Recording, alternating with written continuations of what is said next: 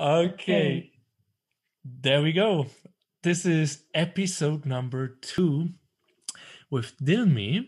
And this is the Oliver Schirach show. And with me, Oliver. And Dilmi and we, we just chatted a little bit before. And um, we are so excited to meet again. And the positive feedback we got from our first interview, especially Dilmi. And Yeah.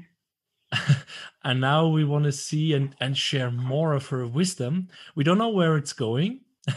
we do it Yeah. we do it my way as usually. I'm I'm trying to listen in, trying to listen to my empathy and find out if I get the right questions. As Dilmi is very confident on that path. So welcome Dilmi back to episode two. Thank you for giving me this opportunity, Oliver. I'm so excited to be here because I got really good feedback uh, from the previous one because many people said it was very powerful. And uh, and some reached out to me and said that I just put out the big picture and I gave clarity on the path. And I'm really excited because I feel like like just by listening to this, they feel like you know, like they get clarity and they some people said that they like feel so good after listening to that, you know, because they feel relaxed because the whole thing is an illusion, you know. so yeah, I, I got really good feedback. And Okay. thank you for giving me this opportunity, you know. You're, You're supporting me to spread in this message. uh, th- that's the, the least thing I can do. And I, I really realized uh, I was wondering how did I connect with you? It, it was over Mindvalley and it was over the integral uh, quest Mm. from ah, what's his name now? Ken Wilber, yeah, Ken Wilber. Ken Wilber. Yes, Yeah. we were both in the beta testing, I think, and you shared your part of the story in in the con in, in the in the communication app they have Mhm. and I liked it. And then I connected with you, and I just had you on my Instagram Mm. feed until you kind of shared it again. Yeah. And for the listeners which have not listened to the first episode, then I would say the best is we, we, we just recap a bit of your story, like two, three, four Mm, minutes. mm. But if you want to know more, then we, we put the link to the first episode. Of obviously, we have it on Mm. YouTube on my channel, on YouTube on your channel. Mm. I have it on Mm. Spotify and Apple Podcasts and so on. So listen to that one first. It's the whole story of Dilmi, how she Mm. actually saw that everything is an illusion. And and if you're drawn to Mhm. this episode, if you're drawn to this show, it's either you you, you have listened to a few of my episodes or you have followed Dilmi Mm.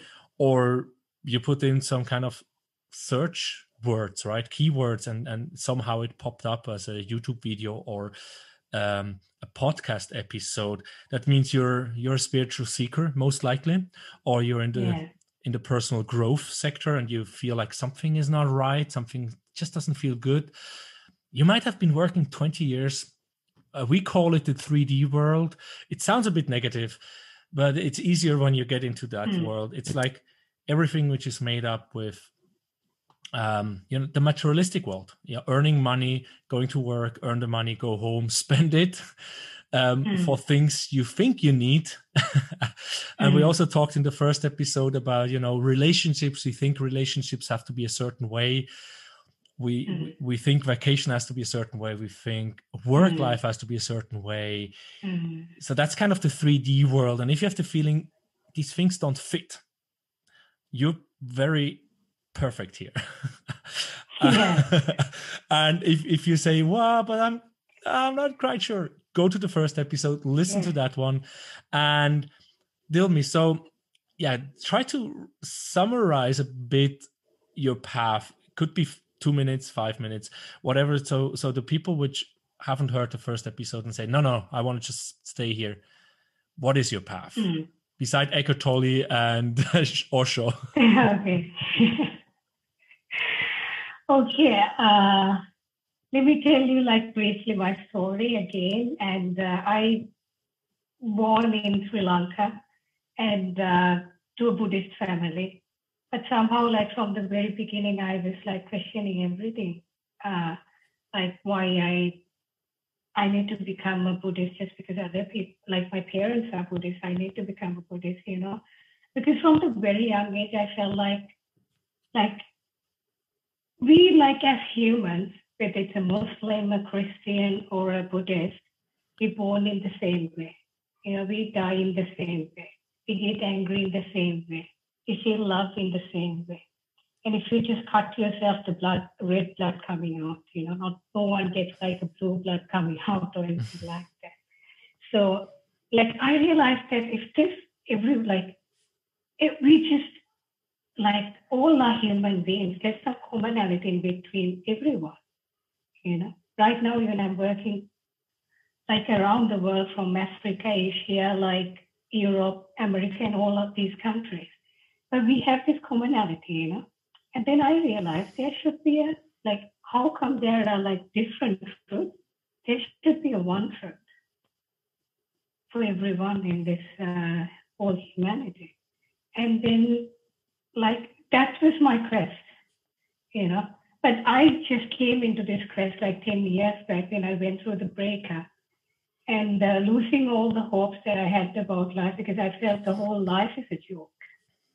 Because I felt like I'm going to tell whatever I said that to man, like to the man that I, I was uh, dating, like, am I going to tell that to another man? You know, I, I mean, it's not like a dating because it was like a real relationship. And then I thought like I gave promises to him and all this, and then am I going to tell that to another man? And then I felt like the whole thing was a joke because I gave real promises, like genuinely in my heart. And at that time, I felt like a mini awakening. The whole thing is a joke. If I'm going to tell this whole thing to another man again. And I don't know, at, at, at least at that time, that's how I felt.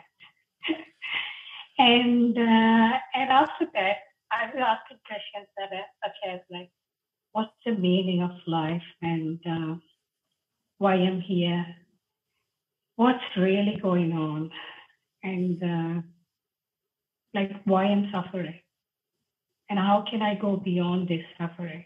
Am I the only person who is suffering here?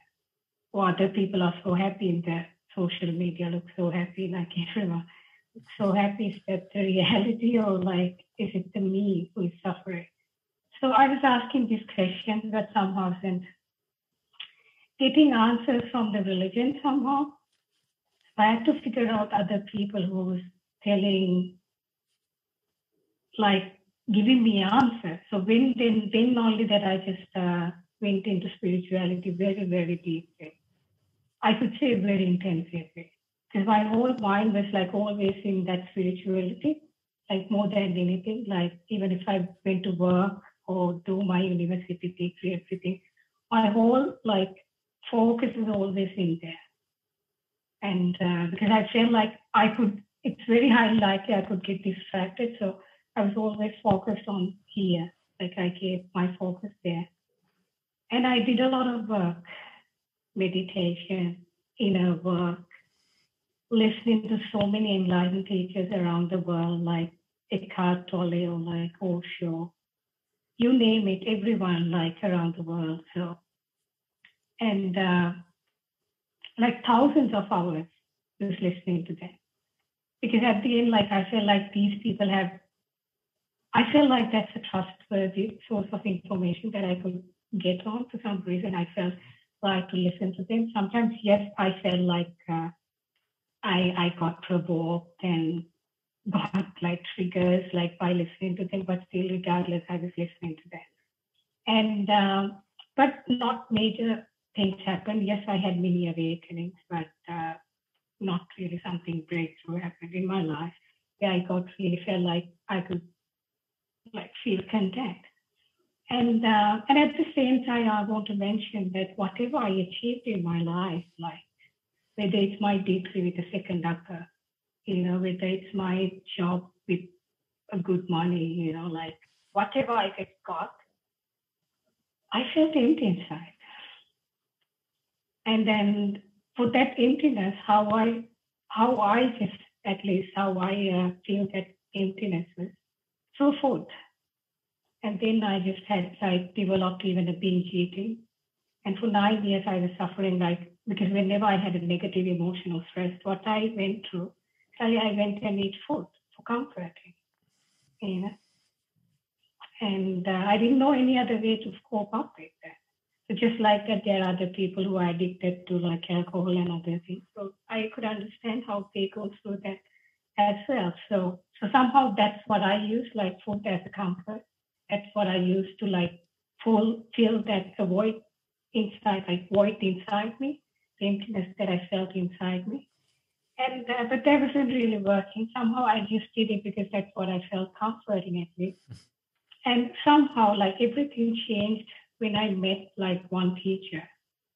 And when my brother and mother was listening to some YouTube video uh, in the living room, and I wasn't so uh, open to listen to that, but I heard one word which was like he said, "I'm talking the universal truth," and I'm like, "What? Universal truth? And that's what I'm looking for." I I, know there should, shouldn't be there are many truths. There should be one truth, just like that was my whole quest. And I was like, this resonates. And, and then I just followed up so much this Buddhist monk. And then I somehow got connected with him and got one on one sessions with him. And then, then I went through a breakthrough awakening, which I which completely transformed my life. Yeah, and and, and um, yeah I remember I had to in the first episode I asked you what was the teacher's name and I yeah it, we, we write it down also in this show note. It's it's not an easy yeah. name. These Sri Lankan names yeah. or Indian names here. Yeah. It's not like Europeans. Very long and complete. Or let's put it that way. Um, mm. Since we talked two weeks ago, that's about two three weeks ago. Yeah, exactly. Yeah. Um, I've I've listened to other podcasts and there there are hmm. people in the 1500 1600 from Switzerland. I'm like, what names are those? I cannot even pronounce. But we put it in there and I remember you just took breath. Now, when you said mm. there was the breakthrough awakening and I just mm. could feel the chills and the sadness and the I don't know. It, it's a very difficult feeling. I just felt myself Mm. Um, I just look at you now and I can see that you kind of get there again. And and that's mm. in the pre-show Whenever I ever I'm gonna have a pre-show live. when, whenever I'm gonna start doing my podcast live, you're gonna have a pre-show. But in I talked to you, Dilmi. I had the feeling I did not do a good job in the first interview because I didn't know how to navigate those feelings through the first interview. Mm. I mm. felt like I wanted just to sit there and cry. Uh, I could barely keep holding my, you know, neutrality and and and the space. Oh, I mm. felt I cannot keep the space talking to you because I could mm. feel this sadness, this emptiness, this this experience, this shattering of reality, like that. Mm. You you just said you were sitting there at one o'clock. I I assume afternoon or was it at night? It was night. Okay, one o'clock in the morning. One thirty yeah. Well, okay, it was 1.30 in the morning. You were sitting there watching TV and the oh, things oh, just disappeared, watching, right? Like from the phone, just like was watching a, a YouTube, just video, just, yeah. you know, even it was about spirituality. And then suddenly this happened. Yeah, what happened? Yes, what happened? Okay. It was just like everything disappeared. At the same time, it was like I was downloading like realization, so very powerful insights to me simultaneously. I don't know the time. I don't know the time, how long I was there because time was just completely like I didn't feel the time, you know, I didn't know how long I was there. Just completely, I mean, like, I don't know, honestly. And uh,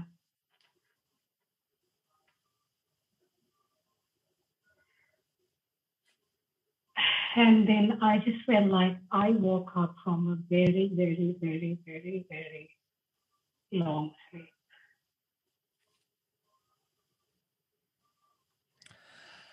And yeah, at the time of the awakening, yes, I felt I became one with everything and everyone.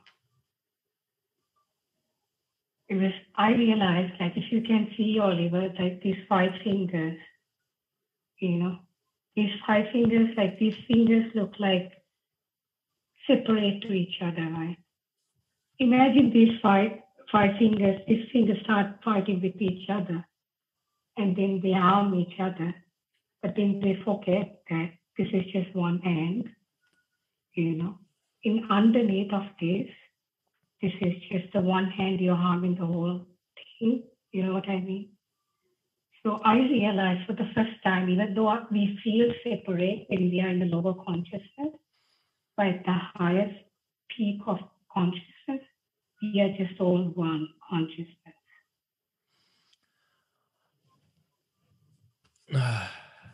I have a lot of questions here. And let me see if I mm. find the right entry point. Mm. Uh, and if I remember all the questions by the end, I'm done. Yeah. Now you, you, you showed the hand. And, yes. and from what I learned the last one and a half to two years, I mean, physically, we know when you look at an atom and you take like the core and make it as big as a tennis ball, mm. it's I have no idea how many meters, hundreds of meters. There's nothing until you get an hmm. electron. Mm. But we know there must be something in between. So there's like energy waves. We say everything is waves. Sound is wave, light is wave, mm. feelings is wave. Mm. And they say, even you say like, oh, I don't feel in vibe with them. I'm not feeling in the right vibe wavelength vibration with someone so mm. you can feel that right you can feel mm. people mm. are not on mm. the same wave mm. Mm. and, and, when you just took the fingers i couldn't help it but i had like this mental vision of all these energies which are going between all these fingers and then so many ideas i mean in this few seconds you talked all these Im- images of chakras of med- meridians of auras and mm. all these other mm. kind of things energies which are there making up our body. And we know from the heart centered institution when they measure the heart they get only 12 feet which is what is that four meters or something? Five meters? Five and a half meters? They can measure the energy from the heart. Um, but it's going much further so that means if that's five meters and I'm in a room with people, I'm connected with everyone. Yeah, it's like yeah. when you, they say they can measure like four, five and a half meters because they cannot measure it longer, but they're sure it's much further. Also, when you do meditations in group for love and, and, and affection and all these things, it's affecting the people in the city or the region. So that means if you're in a room with people and just thinking of the heart going out, you're just connected with everything you can feel you can measure the energy field from the heart out yeah. you can even measure the, the, the, chakras and there's much more yeah. which you cannot explain so that means yeah and, and and some some teachers for many thousands of years say you know the aura mm. you know mm. intentions basically intentions help you to set your aura the energy field around mm. you mm. if you have a strong aura that means when you're when all the chakras are in place then the aura i think is also in place. But if the aura mm. is not you know things go through you're affected by the outside world. Mm. uh, and I, I, I really do not know because i never had a download. So let me see what what you will say. We are connected. We are from one consciousness. I i understand that here. I've not mm. experienced it right? Mm. it's we also talked in the first episode Eckhart Tolle says you need to experience it. You cannot learn it mentally you need mm. to experience an awakening you need to mm. experience the oneness the con- unconditional love and and and i've just talked with another friend of mine and she said she's separating from her husband because she was finding her mm. twin flame or whatever she mm-hmm. called it like this other person mm. which was so much love there that they couldn't be separated even though she was mm. with her husband but all these triggers came up all these negative feelings emotions mm. all these shadows came up and they had she mm. had to work through them and um, she was growing and that's why she has to break up with her husband because she cannot live that life mm-hmm. anymore as before mm-hmm. and then she said oliver there's just this love and this love cannot be described when you have not experienced it it's not the love we humans are taught to believe in Mm. It's not like oh i love you and you have to you know tingling Mm. feeling in the body and because there's Mm. this condition always connected and i can see it with my own wife i just told with you i'm in a, in a situation of a breakup and probably should just mention it Wha- whatever it doesn't change anything it feels just terrible for me because i feel misunderstood not accepted um, pushed around and Mm. that cannot be love and, and on the other hand i still feel this love for her but not on this Mm. erotical level as we think love is right Mm. like Mm. I do accept her and I want my wife in that case to have a good life. But still, of course, I'm, a f- I'm fearful, but I know there's nothing to fear of because fear will hold Mm. me back. Mm. Okay. And now I've been going crisscross. Jesus, my head is spinning. Uh, so we are all connected. We are all one consciousness. And there's Mm. only this true love, which is not really the love we are meant to be or Mm. think it is. Oh, I don't know Mm. what you take of it. I just throw it on you now.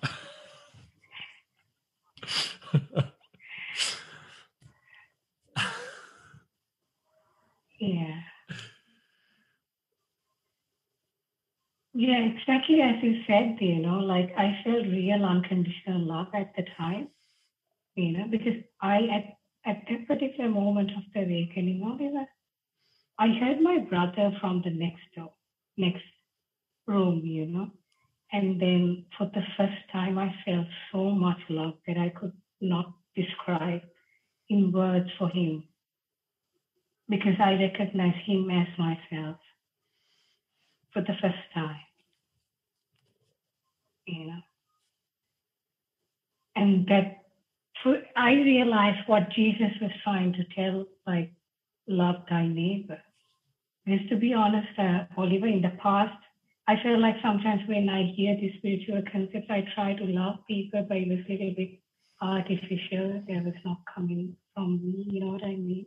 But here I recognize that there's nothing but myself as a realization, you know, and uh, I received like, I felt such an unconditional love for him at that time and for the, you know, for the whole, because I realized, oh, like everyone is just me the whole time. now, when you, that of course brings me to the question if you could feel your brother, he was just the next room. And yeah.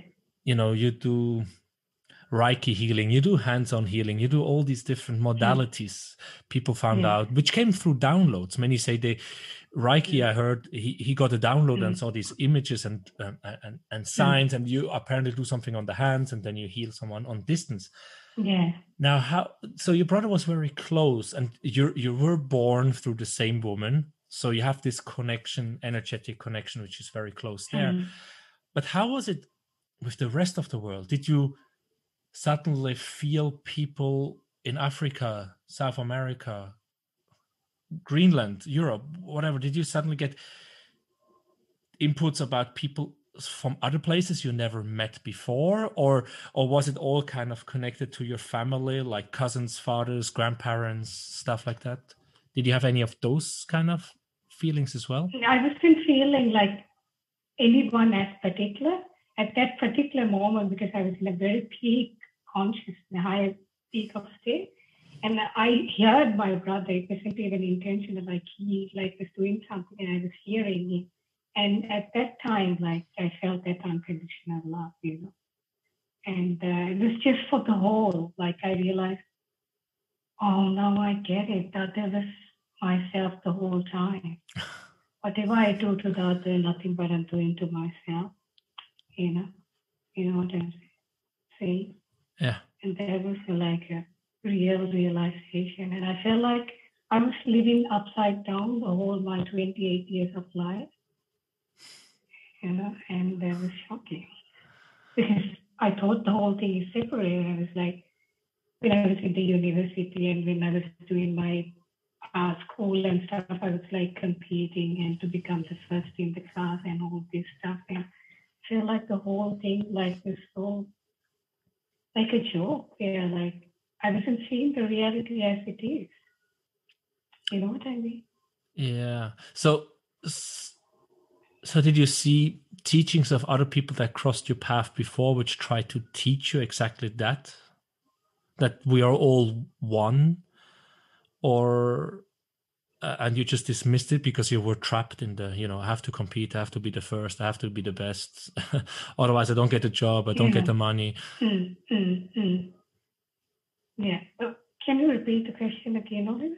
It, it, it was just um, if if you have met other people which tried to open your eyes and say hey we're all one don't don't don't try to compete you don't have to be the best you don't have to mm. because we are all mm. one um, did you meet people mm. before that or no because everyone else doing like that whole competing thing and all the rest of other people are doing i never met people like that even when i was doing the work to be honest uh, there were people who came to me and said like i'm wasting my youth and stuff Ah, yeah, when you did the spiritual work, I mean. Yeah, yeah, and then also like they found that I'm weird and I'm so much into intensively spirituality. I should be doing that and all that. So that's what I was hearing. So I was really sometimes questioning myself: Am I doing the right thing? The whole crowd was going the other way. You know, you know what I mean? Because if you see,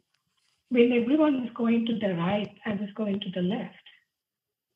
So I wasn't meeting that kind of people, to be honest. I wish I uh, met people like that. So, so how? And what the did, first person, yeah. What did drive you to continue that way? I mean, I see myself. I gave up. I mean, I told you before. I'm listening to spiritual shit podcast, mm. and I, mm. I don't know. I feel just so connected. I have the feeling I need to meet this mm. woman. Um, She mm. has a maternity leave now, so let's see whenever. Mm. And the last episode I listened was about astrology. You know, like. Um, mm. you know your your zodiac signs. You know what? Are, when mm. are you born, and what does it mean? And then there's hmm. also the Chinese. And I've I was so intrigued when I was 16 about this, but I stopped hmm. doing it because people thought I'm a hmm. weirdo. You know, like a, a strong man with long curly hair, big muscles, playing football, working out, doing you know doing math in the gymnasium and then he comes and like mm. oh when are you born what hour were you born oh um you're whatever yeah. areas in the main and then you're i don't know something else mm. in in the, in the second mm. house and oh you like to do mm. this and that and people are like you're cuckoo mm. and i stopped and i just mm. realized like i just thought it was fun when i was 15 16 and i just went away because i did not have people like that in my life. So what did keep you doing it for 10 years or eight years? Mm. Or, you know, you said 10 years mm. ago it happened. Your mm. awakening was in 19, so two, mm. one and a half years ago. So what that kept you doing this seven, eight years? I mean, until you found your Buddhistic monk, which has had an awakening before. Yeah. Oh, that's a good question, actually. Uh, what kept me going was like, I was constantly listening to these enlightened teachers, like constantly immerse myself in that. Yeah. To be honest, like there's like uh, Jim Rohn says, like you are the average of five people you're hanging out with. You know, so for me, the, those five people were enlightened teachers. I could say, to be honest. Number one was Osho. And the second I could say Eckhart Tolle, likewise, they were like teachers I was constantly listening. Yeah. And uh, and also I I saw another man from USA. He's like uh, living in Las Vegas, and then he's just is very very uh, young. At the same time, he's talking this truth.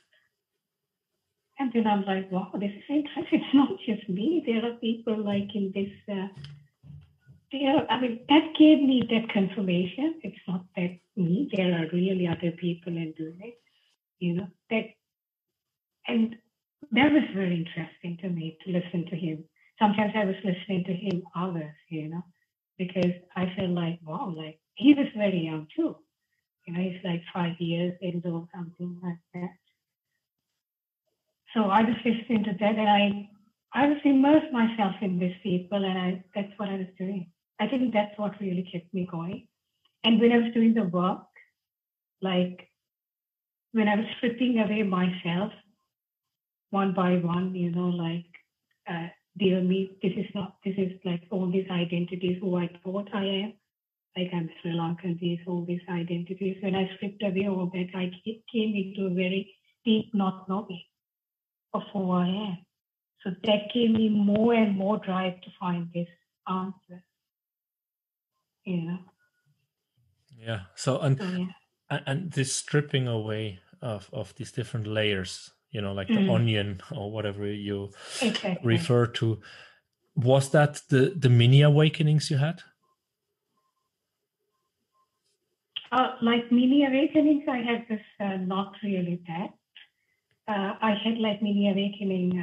Should I talk about like mini awakenings I had? I mean, I was Yeah. just thinking because you said you were peeling off Yeah. different pieces of you, which Mm, were not yeah. you, and then I had the feeling perhaps Mm. these are these different awakenings, like the first time the relationship where you realized you gave all the love, and I realized, wow, you know, all the promises I did to my wife. What if in half a Mm. year I meet another woman and I fall heads over toes in love with her, and I'm gonna tell the same things? I'm like, wow, that just feels weird, Mm, right? It's just yeah, I know. are those the things which were or or is it something completely different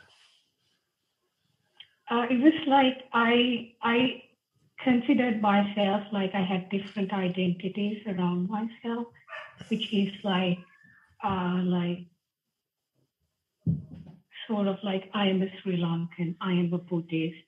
These are not the strongest, you know, and then I am my father's daughter, and this this person's daughter, and this this person, like you know, my mother's daughter, and uh, I'm my brother's like sister. Likewise, I had many layers I need to uh, take out. Like you know, even that could be like I mean, for me, if I take generally, people even like recognize them as a vegetarian, all these other identities. You know, you're just hooked on to this, and you think this is who you are. You know, I told you like this part, what you figure out at the end is who you are at the deepest core, and. Uh, so if you like, if there's a knowing of who you are in intellectual level, then how would you recognize who you are as a direct experience? So what I was doing was like, I went into these identities and I realized, okay, like, how am I sure that this is I'm the I'm a Sri Lankan? You know, I went into that and I just really come into a not knowing. I'm not sure that I'm you know what I mean, Oliver? Like, I just uh, started asking, okay, but okay, I can't remember that I born into this country. You know, maybe I born in some other, maybe I born in Switzerland and I came in here. Like, I don't, I can't remember why.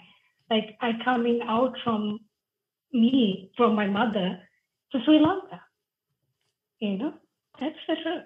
So I was, I was like, really asking. Even the people say this obvious stuff like, I am this person's daughter, you know, my mother's daughter, my father's daughter. Even the obvious stuff like that, I started questioning. Do I really know for that? And what if I was mixed up with someone else?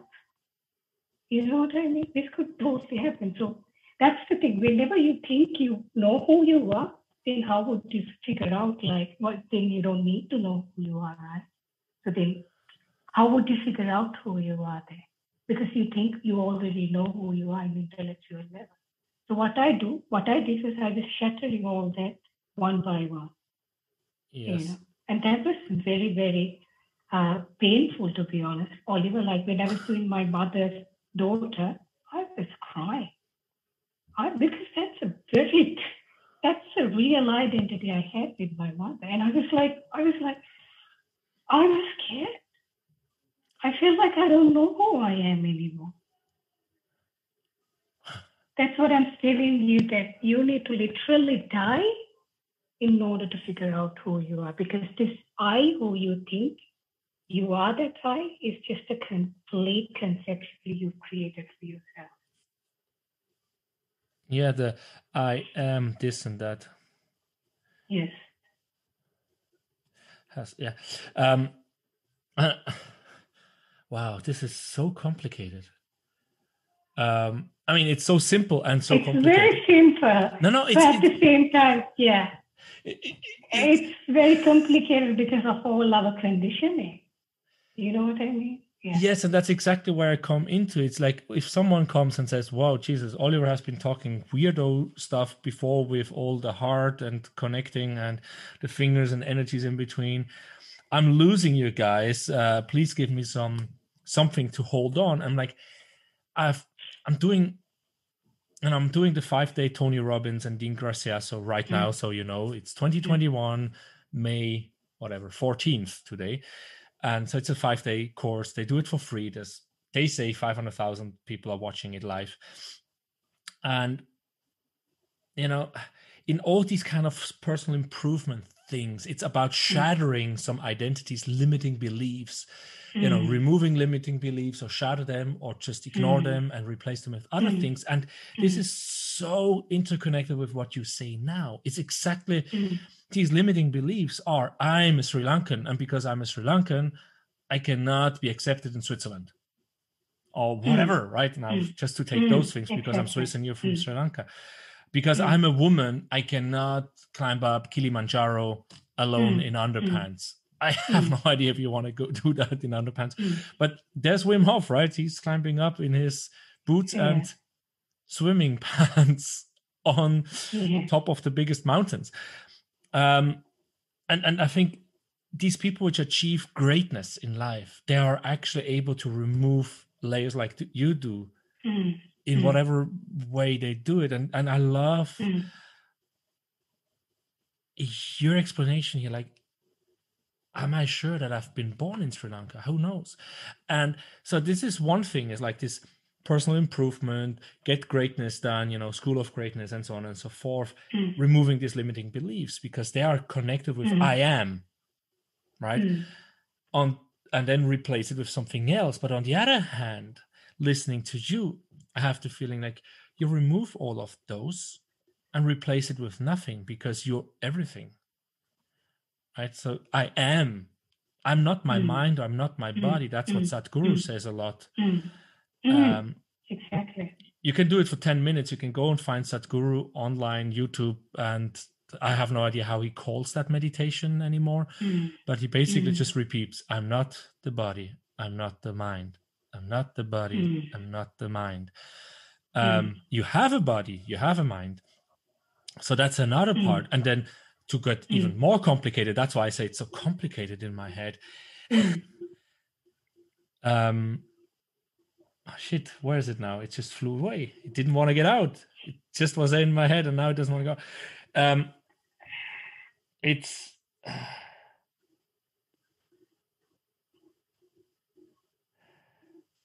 Oh, fuck. Why did it go? It was just there. It was just there. It's fine. It, will come. You know, it's so this one. It's so from here. yeah, yeah, it's. um yeah, in the end, we are all one consciousness. Back. You said to- like I am the Sadhguru is doing this. Uh, I'm not my mind. I'm not my body.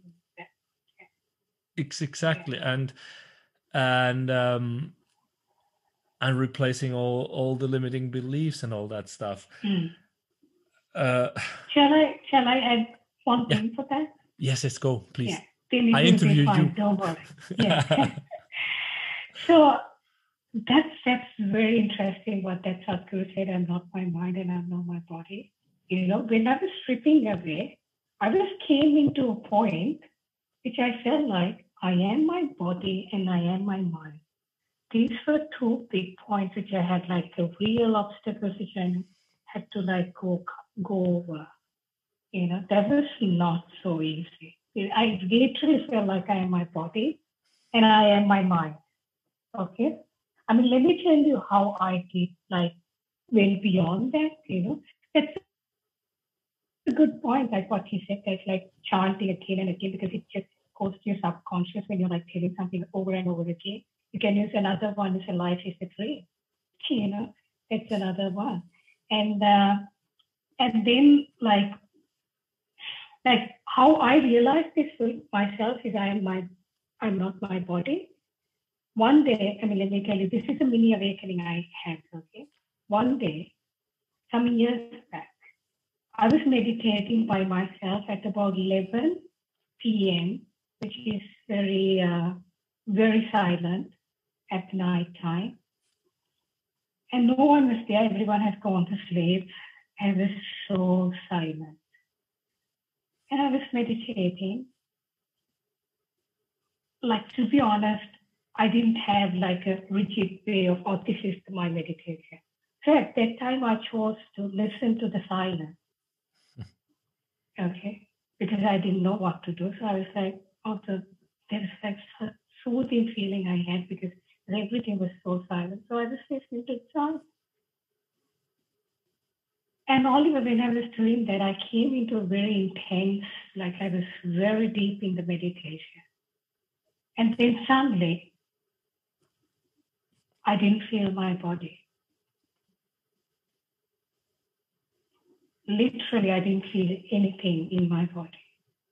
And I could see that my mind was going crazy because like it was getting panicky. But I was completely didn't feel anything inside my body. I was like, there's nothing in my body. At that particular moment, Oliver, I had a realization, ah, I'm not my body. You know? Because you experienced it. You did not Yes. force your mind. You had to experience it. Like Eckhart Tolle says, you need to experience. Mm. You cannot Mm. learn. Yeah. And how did you get the I'm not my mind? Is that the big awakening was? Okay. Okay, and then, then the next one. I am not my mind. Okay, this is a very big. This is like the biggest one because you literally feel like you are the mind. You feel like this inner talk is yourself. Okay. For this, I'm going to take an example from Eckhart Tolle's life. Okay. And if you can remember, he was like he was sharing his story, and uh, he was in a very depressive, suicidal time period in his life.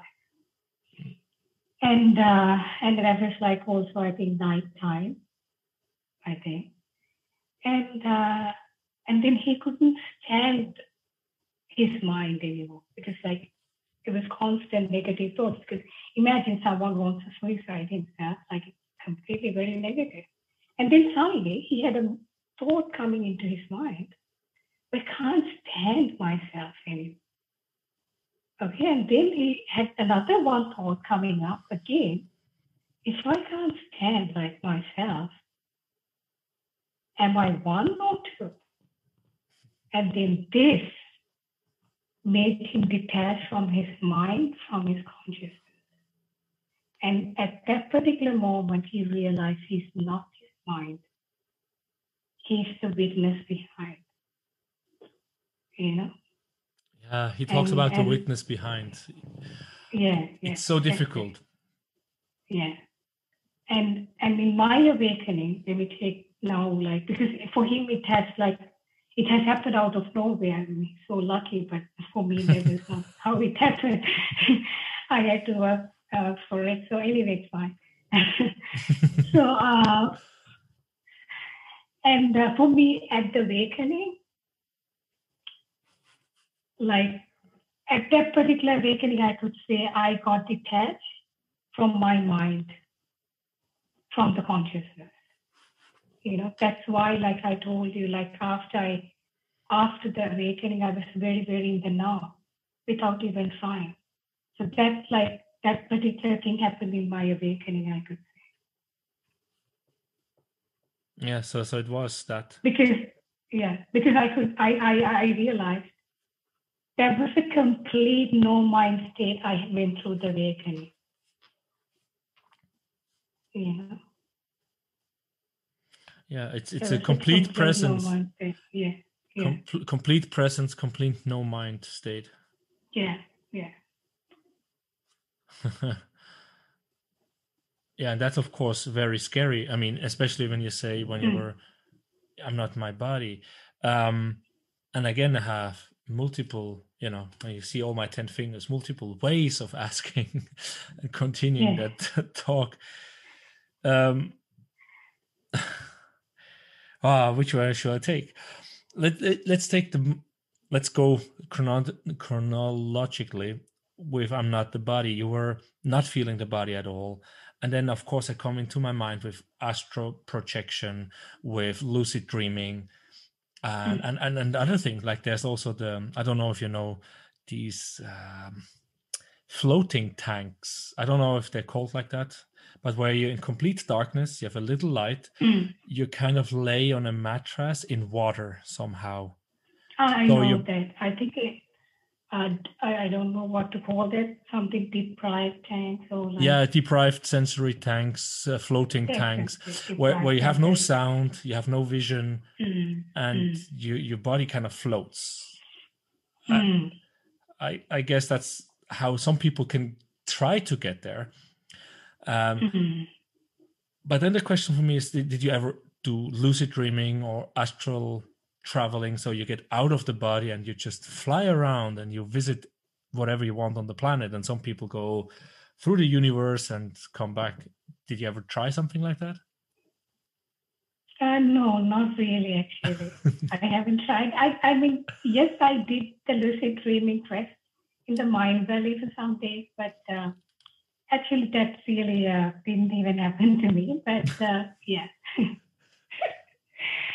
No, I haven't tried any of those, uh, So, so, so then of course there's another question I had there as well. Like, yeah. what is the superpower after the awakening? I mean, one thing is the experience and knowing I'm not that mind. I'm not the body. I'm not any of this. Well, what else did you get out of it? Is it uh, super peace? Is it the you can be in, in, in the present all the time? What are the gifts you got from the hard work you did? Mm. I could say I transcended my suffering. You know, and that's the biggest. And then the next thing is I realize who I am at the deepest core.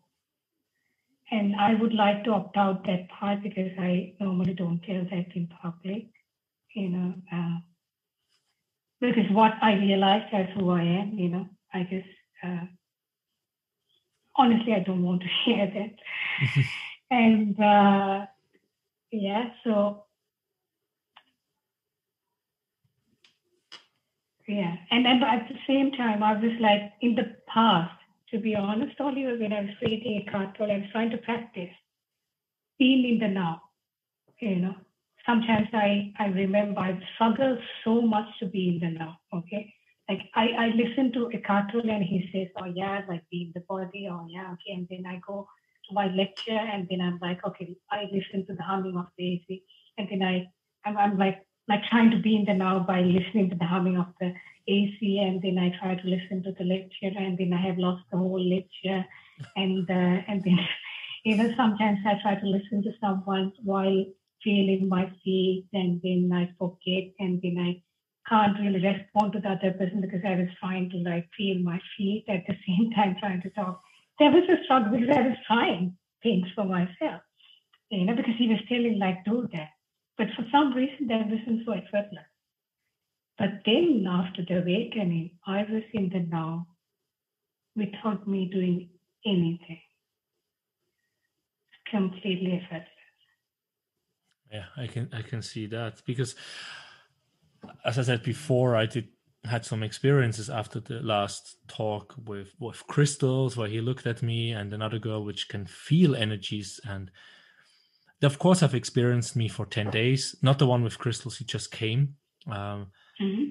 and and the feedback is always the same like oh you're not grounded uh, uh, and you have too many thoughts. And and the funny thing is a side note in this crystal having crystals on the seven chakras mm. the one on the throat and the one on the third eye just i felt the crystal melting on my skin which was very interesting um, it gave a nice warm feelings but those and the heart apparently were okay but but definitely my root and my crown chakra completely upside down so then it's very mm. hard for me to be in the present and that's from mm-hmm. I, I, he said i'm like standing on the tip of of of a triangle on my root chakra and mm-hmm. and, and the mm-hmm. crown chakra was just like the the the pendula he was holding in the hand he didn't move the finger at all Mhm. it the Mhm. pendula went so high he had to lift his elbow not to hit the pendula and i'm like wow so trying to do Eckhart Tolle from that point where i am it's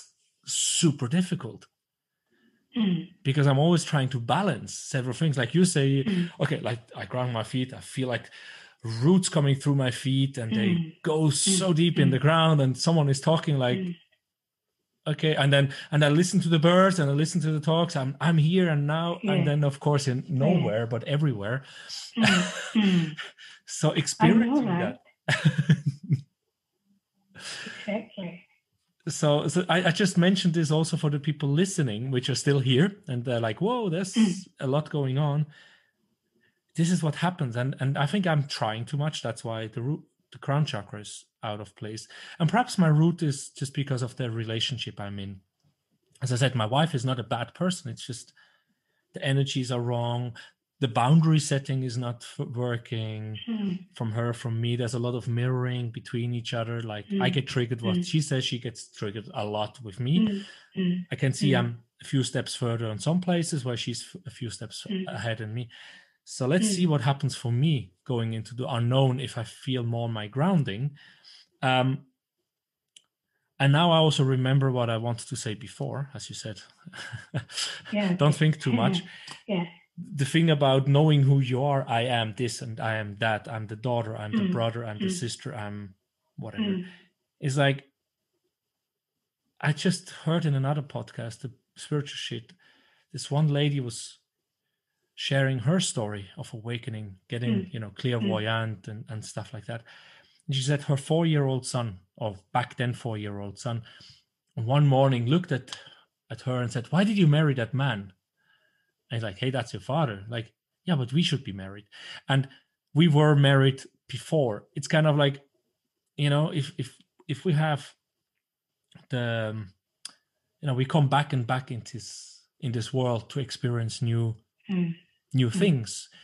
That means i've been told i've been a woman and i've been a man. I've been single um, all these things. Then mm, from that perspective like what you are like sri lankan now or you were born in sri lanka you were born to this woman and that man. But 10 lives ago you might have been the brother and the mother you know? Y- your father might have Mm. been your, your your daughter and your mom might have been your brother right? So Exactly. Highly possible.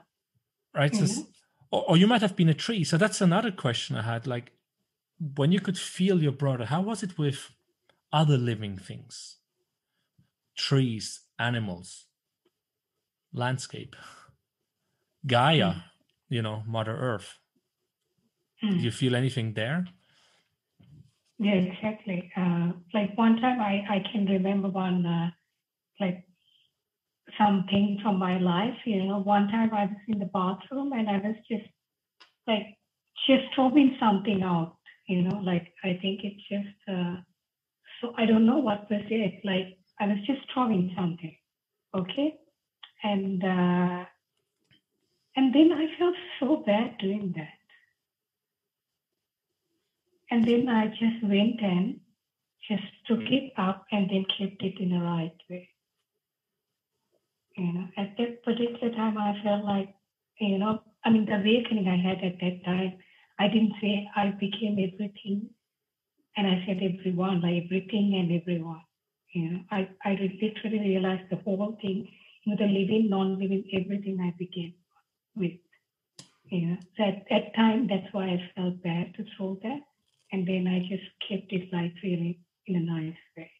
So I felt S- so since then are you interacting differently with nature and things i mean the japanese people i've heard have a god for everything you know the microphone there's a god for my microphone Mm. there's a god Mm. for everything so they Mm. they have gods everywhere so they, they have a very special way so how is it for you Mm. since the awakening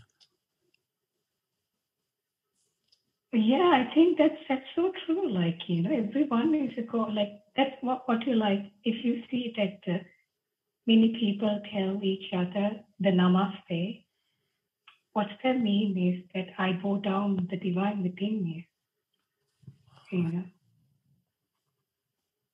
So because everything is just God. And if, if you see like what you mean by Buddha, it's a vacant one. Like if you see if you see that God, God's like everyone has this God seed within themselves. The question is when you're going to awaken that seed within yourself. You know, otherwise why we are like bowing down and saying that I bow down for the divine within you, because we already tell each other that I know that there's divine within me, then why not awaken that? That's what I did, and I know that if I can do it, then everyone else can do it. Hmm. Yeah, that's true. But but what? Uh, yeah, now I'm I'm I'm looking a bit. What else I had? Um, So I, I know in the first interview we, we talked, mm. you, you said you didn't really share your story mm-hmm. for one year. And then mm-hmm. it was the integral. That's why you shared the first time. Mm-hmm. You got the good feedback. You started sharing. Yeah. Um, and now you're you're present with people, trying to help them by being there for them. And and and when I see that, I had some discussions with my my circle of people, which are awakened or on the way of being awakened or whatever you want to say, mm. mini awakenings. I mm. think I had just a lot mm. of mini awakenings, mm. nothing major. And sometimes I'm like, yeah. ah, come on. um, and, and, and then the feedback is like, you know, uh, we have Deepak Chopra, for example. He has been writing a lot of these mm. books. Uh, and some of the people say, yeah, but he's not doing it himself. It's just copied and someone else is writing for him. Mm. And Eckhart Tolle sounds very much he's really writing from himself. How is it for you mm. if you would write a book or, or or teach to you know i mean where's the information coming from would it be hard for you to to take information from these different spiritual teachers you had because you're very influenced after eight nine ten years of mm. reading mm. all these things. Or do you say mm. it doesn't matter because we are all one anyway and i take mm. what resonates with you so, so how do you take that so how do I teach people? Yeah, how how would you how would you sorry how would you that sorry my question was not clear. I can see yes. that. Uh, you know, some people have a problem reading Deepak Chopra because they say, yeah, but it's mm. nothing new. He's he's taking information from I feel Buddha. like the depth is not there. You know, when I, I also read Deepak Chopra, I feel like the depth is not there. Like, you know, so when I like if you take Eckhart Tolle, when I listen to that, like I feel like he's talking what he's already experiencing. I just feel it. I don't know how. I mean, if you ask how I feel it, I don't know how. And then the second thing, if I when I read Osho, I'm like, wow, there's so much depth in this. Not normal people can say this. Okay. You know, I can say that it's not some so intellectual, technical word types, It's just so simple. Because if you have already walked the path, Oliver, it's very simple. You know, to be honest, when I when I walked, I realized this, but I was like, this is so simple. How come everyone not get this? You know, I was like, I wanted to scream, like, like, you know, and then when I tell that to my teacher, he said, this excitement will just go away with time, you know. That's how everyone feels when you realize it in the beginning, because, you know. And uh, I mean, it's so simple. It's just so simple because of our conditioning. It's just so hidden and not like it's like it's like I could take this as an example. Okay, like imagine the fish start asking the question, like, "What's water?" you know, where's the water? Or question like that. But the fish doesn't know the fish is already in the water. So he can't really figure that out. You know what I mean? So I feel like that's what happening to us too. We're sitting on our enlightenment. Uh, okay, so I understand you're right. So the people which had like Osho and Eckhart Tolle, which had this experience, they write in very mm. simple mm. words mm. and and uh, but it's very triggering for people and especially for you mm. osho was very triggering for me eckhart tolle was mm. uncomfortable and and when you then read something from deepak chopra he's using too much technical terms i think he's also an engineer sort of intellectual you know it's like intellectual it's not i don't know i didn't resonate with that so i just moved out to other teachers okay so so you think it's more like from there so if you would write a book I don't know if you plan to do so eventually, perhaps. Um, it would be more in the direction Osho, Eckhart Tolle. But it, where would you take the information from? Would it just be um, your experience, or would you try to to combine things you have learned? My experience, you know, and at the same time, I would like I, mean, I have like got influence so much from uh, one person is Osho, so I could take uh, examples from other people who have I read as well. But mostly from my experience, Oliver, because I realized that people resonate with my story mostly, you know, so that's like the most uh, authentic for me to do. So yeah. And and and how to help to awaken or how to help to, to grow as a person? What is the best way? what is the best way to or, like, realize this truth? yeah, well, let's say you going back 10 or 12 years, right? Um, how would you teach yeah. yourself? What, what would you, mm. how would you help yourself to, to awaken? Or would you okay. just say, whatever, just go your path and you'll get there? no, I, I would comfort, uh, I would first of all, I would say just relax, really. Just completely relax, you know. You have done so much, you know. I, I, first of all, I want to appreciate you. You've done so much in your life. I want to acknowledge first, like, what this is my younger self and comfort her because I had so much self love issues because I thought I am not good enough. I need to prove myself to people. So I feel like there were people who were looking down on me. And like if you take my degree, how I got the best results in the island and got into uh, with the full scholarship uh, best management faculty in Sri Lanka was pure coming from proving people. And the whole drive is coming to prove people. And I'm going to tell her, like, you don't need to prove anyone. You're just amazing. You know? Hmm. And just take it easy. This is. And and the next thing I would tell her is each time you want an answer, it will come to you. You don't need to stress so much in your life, you know. Because the right book came to me the right teacher appeared in me. I mean, if you have heard the story, like I heard the saying which says like, when the student is ready, the teacher appears. And then there's another part to it. When the student is really ready, teacher disappears. Have you heard that part? No, I didn't get that. I mean, I can I can explain that part, you know, because when I went like through the awakening, when I realized this truth, I was like, oh, I'm to talk to my teacher tomorrow. And then he disappeared. So, uh, what? He's he's gone. He's away.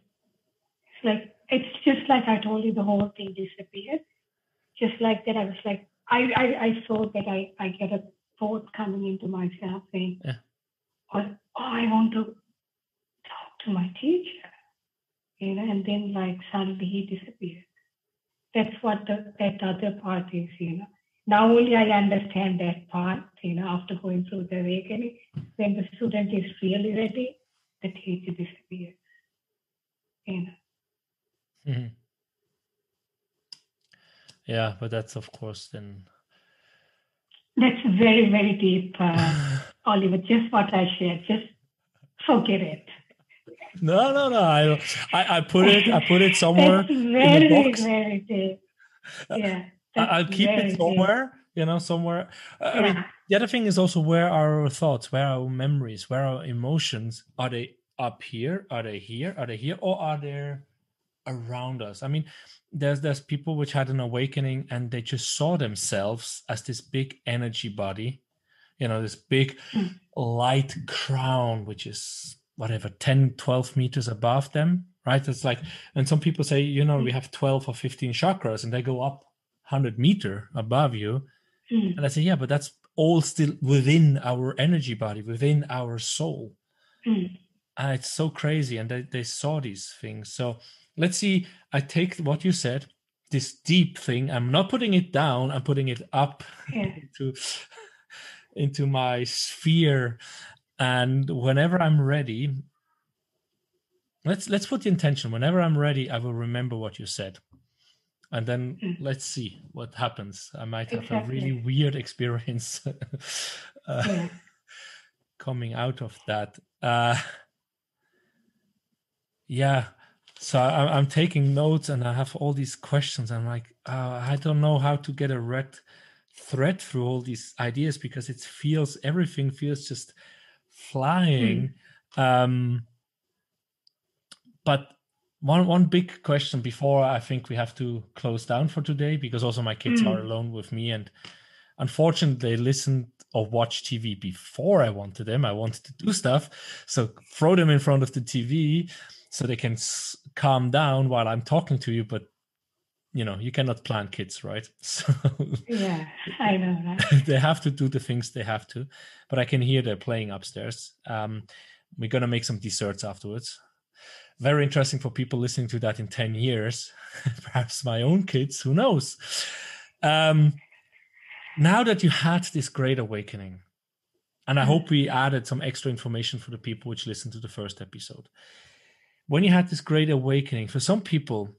i heard is like we come down to this life to remember who we are. And when we remember we basically achieved our goal and then we die. Um, you know we disappear. Um hmm. what is did you get any downloads? What is the next step? Was the awakening for you to actually be able to hold space for others or what do you have the feeling is your next step now you you worked so hard and then you, had this mm. Mm. you're asking me what's my next step or do, do you know what is your next step or do you do you have the feeling okay you're you're calling why you're experiencing this life in the virtual reality in the matrix mm. in your head in your consciousness mm. mm. whatever it is mm. um, do you feel it what it what's going to be now that you have taken the first big step well i think like to be honest like i didn't know what i would do next when I awoke, like I was like, now what? What would I do in my life now? Like I know the whole thing is a joke and the whole thing is an illusion. And even to teach this, like if you take any action, it's just another joke. Even if I teach this to someone else, you know. First, but at least I chose that because I. It's not because it's so important, you know but I feel like that's a calling. Like you know, that I feel like whenever people are suffering, when I see people are suffering, uh, Oliver, I feel like it, I can't keep this message just to myself and just stay. You know, to be honest, when I like in the beginning, I felt like I was like I had to like go beyond the suffering of my suffering. That's what I was like trying to do. And then now I feel like now I feel other people suffering so much, even more than before. So now I feel like now I'm supporting others to uh, go beyond this suffering. You know, that's that's my next like that's what I'm doing already, and I don't know what I would do in the future. Uh, this is all I know, here. know. So yeah. Yeah, but that's who knows, five years, ten years. We can always change. But but you're you seem to be um, filled with more energy and life than you have been before. Yes, I think I was. I, I am like so alive, you know, and because even the work that I do is like sometimes like I give my uh, clients like unlimited access to myself, and they are like uh, they are like sometimes they ask me like are they were both thinking that should I send a message to her on weekends, you know? For me, like it doesn't matter, you know. I'm not so like caught up with this time. Sometimes I don't even know what the date is, to be very honest. I don't know what the day is like. It's just the time is just another illusion and just like space and everything. Yeah, yeah it, that's. Uh, I mean, while you were talking, I just for, saw myself sitting next to you, and and we do the same interview in in person with some cameras yeah. and lights and a nice setting. Yeah. Okay. um, some nice sunset. I don't know. Um, or perhaps around the world going around and and i think uh, i don't know what what my calling is right um because mm. i do this this quest and for t- mm. 10 years i'm like who is coming to me what for nothing they're just annoyed i talk so much and i've been told all the time i'm talking too much and i have no story and i can see myself a little bit while i have the interview with you because i have all these ideas and um, and i feel mm. there's no structure uh, in my head, but I'm sure there must be because we got this really great feedback from the first interview. Mm-hmm. Um, yeah.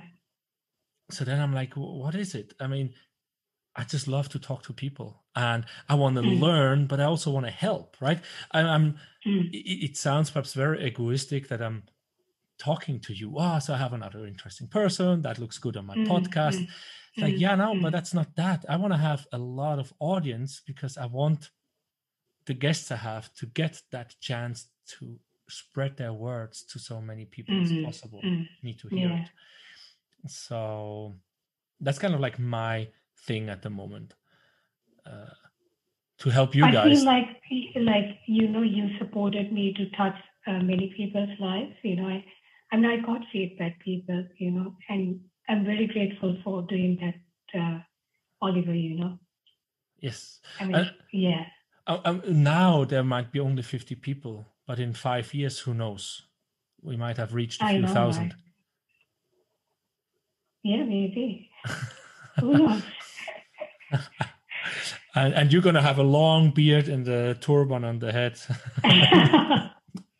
no, I hope not, because in this life you're a woman. That would look weird. We're... Yeah, exactly right. I have not seen dwarfs living on the planet, but who knows if we had dwarfs once? And there, the women also had beards. I have heard.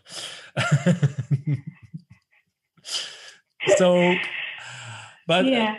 the a last thing before we close down, uh, which I had in the beginning, I took notes what I could ask. Mini awakening was one thing, you know. Uh, and you said you felt empty and you started binge eating. Others are taking alcohol. Mm. I can mm-hmm. see my wife mm. not going to bed at 10 watching movies, mm. drinking and eating chips, and that's definitely filling up the mm. void, filling up emotions.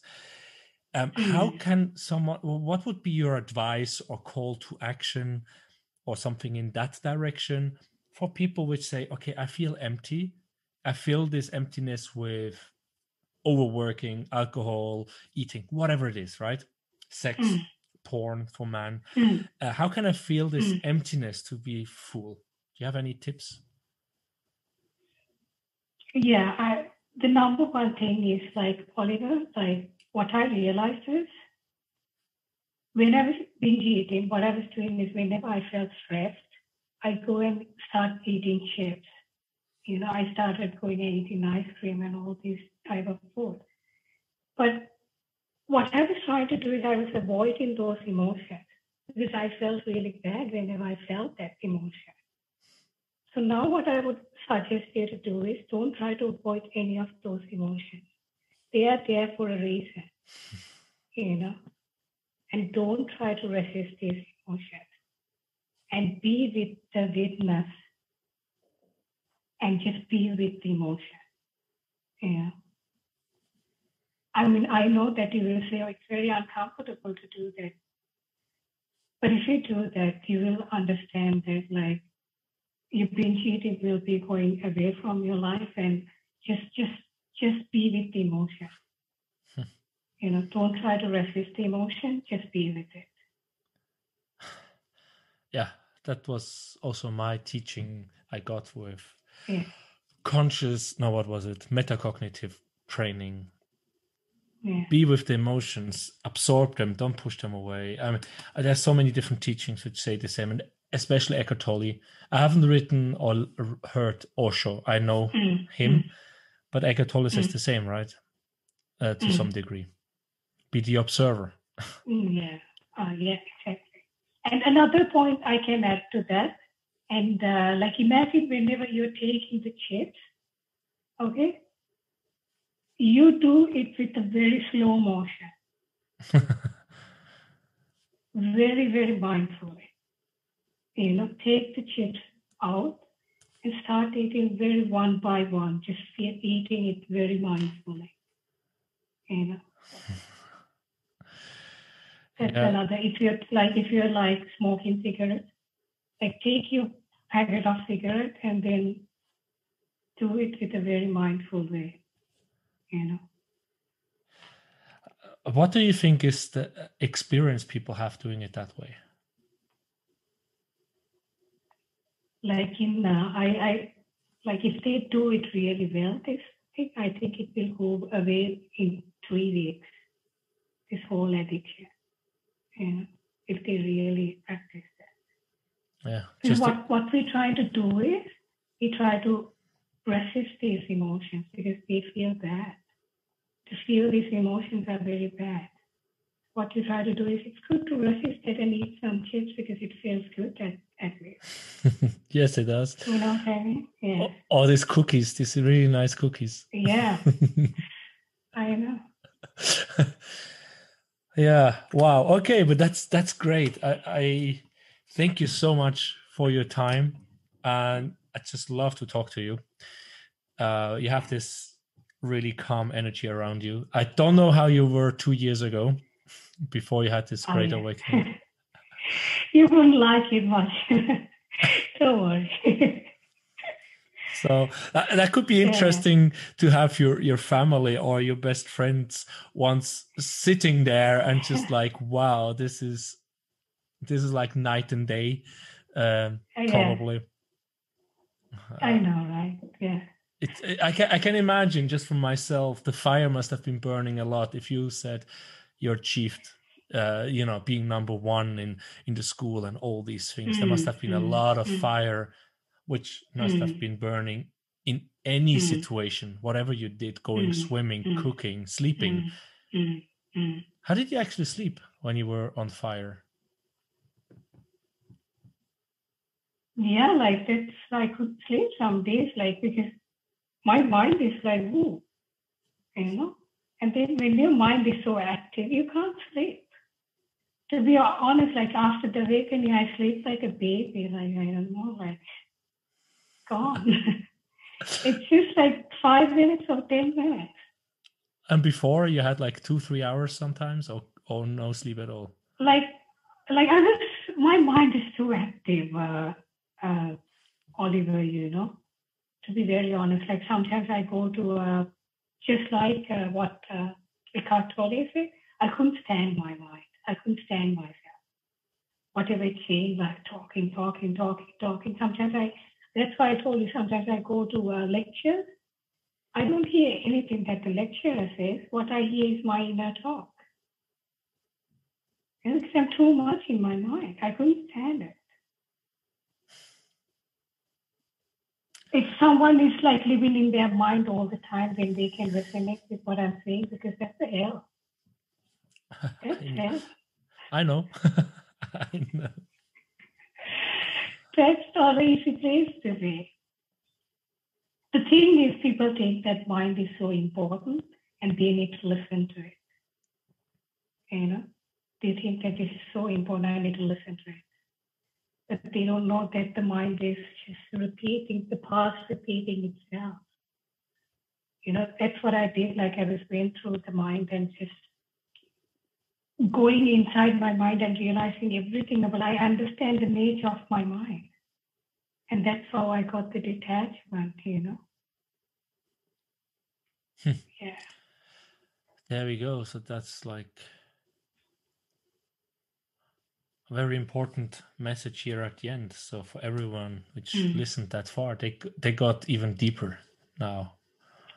Yeah. I know, right? It's going deeper and deeper. so um, Yeah. Okay. where can people reach out? I mean, you're on Instagram a lot. You have Mm. a web page and a Yeah. YouTube channel. Mhm. Is there anything else? Mm, I have my book. You know, they can read my book called Life is a Dream by Dilmi Mahadurage if you uh, search it on Amazon. And uh, so, yeah. And where else they can reach to me? Yes, I uh, it, yeah. and of course. Instagram Dilmi 7LAK. D-I-L-M-I 7LAK. Yeah. Yes, you have um, this special uh, numbering from Dilmi and um, the YouTube. But I'll put everything in the show notes so Oh, yeah, people okay. don't have to worry. And um, also on the YouTube channel last time, I put some Yeah. notes. And I would like to suggest, like, listeners, come and tell me, like, you know, that it was useful because I feel like that's such an encouragement for us to do this work and for me to go on uh, podcast and talk this through. Because when I see this is helping so many people, it's like I put more attention to it and I do even more, you know. So just tell your feedback, give us the feedback, you know, and it's very helpful. Yeah. Yes, and and when we are there, Negative and positive both. I'm open to negative as, Yeah. as well, you know. yes, I'm it's, very it's open. Yeah. it, it as a negative. Uh, I guess you mean as well. It's like more like uh, how we can improve it. Um, better structure beforehand, or yeah, whatever because it is. uh, to be honest, Oliver, there are people who get triggered with this, whatever we are talking, you know. So there could be like that uh, coming our way too, you know. So it's, I'm, I'm very open to it. I Yeah. I have I already expect that. Yeah. I start to see it more and more. Uh, I knew it intellectually, but I start to see it Mm. really much with my kids, with my wife especially. I see Mm. it at work that people just get triggered by things you say, and Mm. the better, the more I realize that, the better I can put my borders, my boundaries around myself, and, and uh, enrich or strengthen my aura to say so it's not Mm. getting so close into me um, it's also braving the wilderness um, brene brown writes about these things you know walking the Mhm. path not so many people take Mm. I think she also had an Mm. awakening if Mm. you go deeper Mm. um, it's actually something to strengthen yourself because you realize Mm. hey you're more Mm. authentic with yourself and these Mm. triggers are normally in my experience things that show that you're not living your authentic self Mm. Mm. that you live according to someone's Exactly. dreams and Mm. that's why you get triggered because it has to be a certain way right Mm. uh, Mm. you cannot eat the soup with a with um what do you call it uh Straw. yeah a straw yeah. Sucre. I have too many languages in my head. A straw right? You cannot eat the soup with a straw. That's why not? Mm. who says so? You can even try to take a fork but it takes a long time. So but with that anyone who's triggered dilmi te- told Yeah. you reach out to us. Send a voice message on www.anchor.fm slash schirach s-c-h-i-r-a-c-h ch let me figure out how i can send you a direct link so you can send a Mhm. voice message go to dilmi's instagram go to my instagram i'm working on making a more presence there so it's easier to Mm. share all the great Mm. knowledge i have from people like dilmi and other people Mm.